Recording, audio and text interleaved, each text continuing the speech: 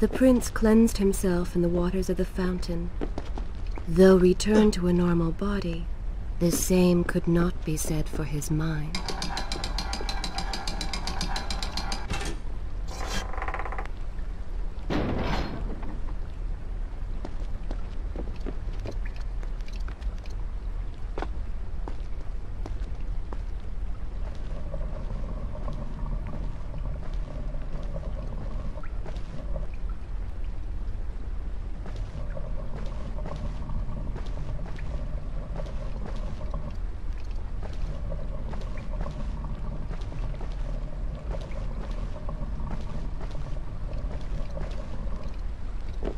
Do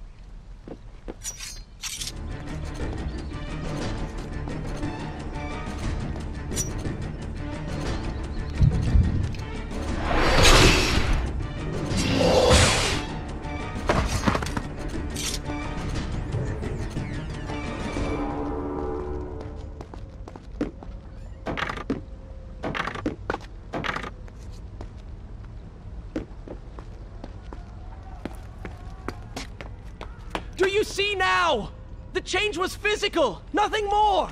Why should I believe you? Everything you have done contradicts this. I have seen the way you hunger for combat. You take pleasure in creating death. Your constant talk of bloody vengeance. Your cold disregard for your own people. You heard the women in the brothel as clearly as I did, yet you turned away. But I came back. I came back! For you. You are a prince in title only. Go and reclaim your throne. But know this. You do so alone. You certainly have a way with women. Those you don't get killed can't get far enough away from you.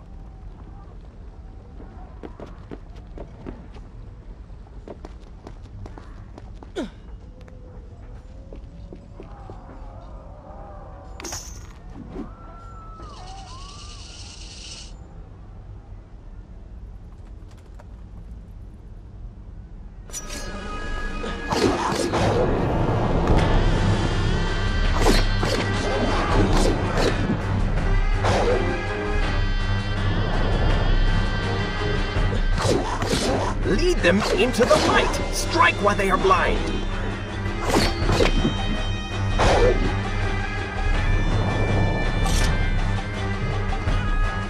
Come on, show me something I haven't already seen.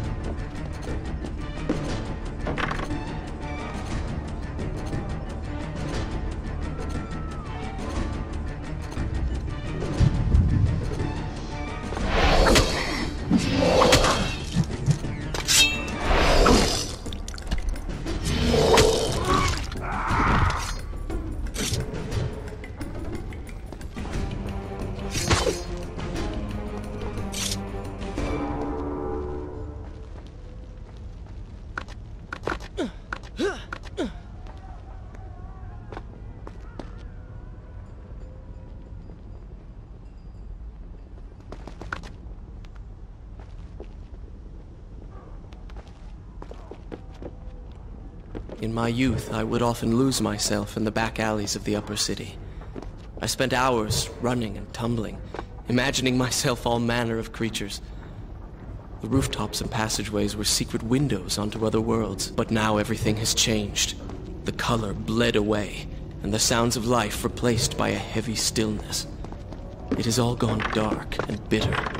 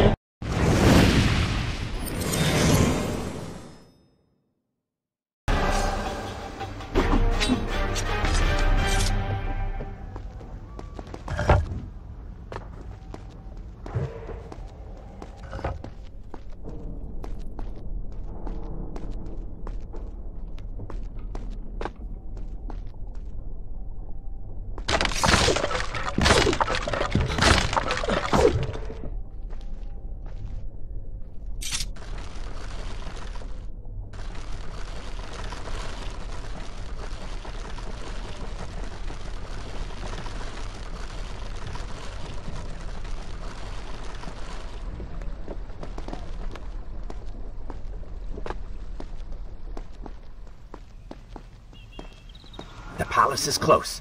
Let us at last be on our way. The prince was finally forced to accept the fact that Farah was lost to him, and that he alone was responsible for this. Had he not hidden the truth from her, had he shown more compassion,